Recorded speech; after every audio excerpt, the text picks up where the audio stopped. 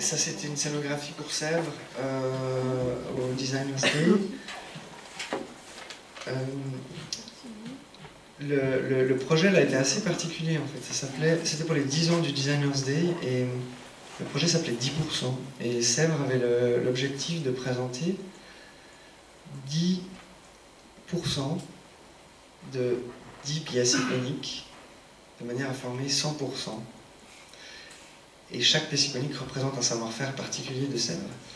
Et donc on se trouvait avec des petites pièces de petite taille et qui n'étaient pas vraiment finies. Alors, après, il y a eu plusieurs manières de ne pas finir les pièces. Mais là, par exemple, c'est une pièce parmi un ensemble de, de Sotsas. Et donc, ce que j'avais proposé à CEF, c'est donc de, les multiplier virtuellement, les pièces, pour qu'elles retrouvent quelques pourcentages.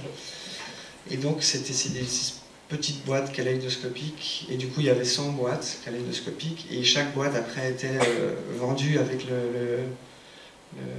l'extrait le, de 10% de sel. Et il y avait aussi un, petit boîtier collector. Euh, avec les 10 cases, donc les 100%. C'était possible dans les 100% d'un coup. Ça m'a arrangé assez bien pour deux, raisons. C'est que déjà la galerie était assez haute, ce qui veut dire que même les pièces du haut, on pouvait, on pouvait les voir avec le reflet. Et c'est aussi une thématique qui, qui m'intéresse quand on, quand, on, quand on investit l'énergie pour faire des scénographies, des installations. Qu'est-ce qui devient de ce qu'on fait en fait Et là, euh, ben là clairement, ça, ça vit avec l'objet en fait. Donc, ça peut être utilisé tel quel. Il y a des personnes qui ont réutilisé les boîtes et les ont accrochées comme ça. Du coup, ces objets, vu que c'était 10%, leur fonction était aussi un petit peu atrophiée comme ça. Euh, ou alors ça peut voilà, être juste une sorte de packaging, on va dire. Mais en tout cas, du coup, l'exposition à la fin, tout était enlevé, tout avait disparu et c'était très, très agréable. Euh, ça, il manque un T à sculpter. C'est un. Euh, c'est le, ben, la scénographie dont on a parlé, je pense que vous, devez euh, probablement la connaître. Donc, dans l'ombre, enfin, c'est clair, la lumière, c'est un truc qui me fascine complètement dans, dans, les, dans les, scénographies. Et, à la fin, généralement on fait ça à la fin, quand on voit comment on arrive à modifier la, perception d'un espace à travers euh, la lumière, c'est complètement magique. Comme, pour ça que j'aime bien dire qu'elle sculpte finalement la lumière, elle donne du volume. Euh, et, euh, ça peut être assez intéressant, juste l'histoire de, ce projet. Donc c'était l'exposition de, contemporaine des pièces de la manufacture de Sèvres au Grand Ornu qui mêlent tout genre mélangé. Je pense par rapport au workshop qu'on fait maintenant. Il y avait à la fois des pièces d'artistes, à la fois des pièces de céramistes, à la fois des pièces de designers, à la fois des pièces de forme, il y avait des bijoux. Tout était mélangé et voilà, la, première question que je me suis posée, c'est la première fois que je devais mettre en, scène une exposition de, de on va dire d'art, où il y a des pièces vraiment qui ne sont pas du design, qui sont pas et donc on sait évidemment que quoi qu'on fasse, c'est un signe, c'est un sens. Et, du coup, je me suis posé la question de disant quel est le minimum vital pour cette exposition. C'est finalement c'est la lumière. Euh, quoi qu'on fasse, on va devoir mettre de la lumière pour éclairer les pièces.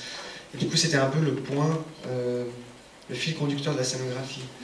Et ça tombait à merveille parce que le titre était Feu continu, euh, qui fonctionnait à la fois pour les, pour les euh, les, fourneaux euh, de Sèvres et à la fois pour le, charbon du Grand Ornu. Et du coup, la, lumière est donc ce point de départ. Et là, par exemple, dans cet espace-là, il y, avait des spots assez violents, des spots de 500 watts, tout très low-tech, un petit tissu diffusant. Donc tout était assez visible, mais une fois qu'on était à l'intérieur, je n'ai pas l'image ici, il y avait une lumière vraiment, vraiment assez idéale. En fait, il n'y a rien de, spécial, c'est un système de, studio photo en fait. Sauf que là, il est un tout petit peu déconstruit. Et du coup, la lumière, était hyper, euh, hyper douce et, notamment les, assiettes de Françoise Cardon qui, jouaient sur la réflexion parce qu'elles avaient leur dos de l'assiette qui était euh, coloré. Bah, c'était vraiment assez bien mis en valeur dans, ce cas-là. Là, c'est un autre type de lumière, euh, une lumière plutôt stade, comme ça. Et du coup, il y, a des, y a des ombres assez dures. Et, euh, et, du coup, ça a aussi généré ces types de gradins, podiums qui à la fois une sorte de point de vue différent, les, gens peuvent monter. C'est un peu les pièces qui sont, euh, qui sont assises, qui se reposent. Il y a le, visiteur qui travaille là cette fois.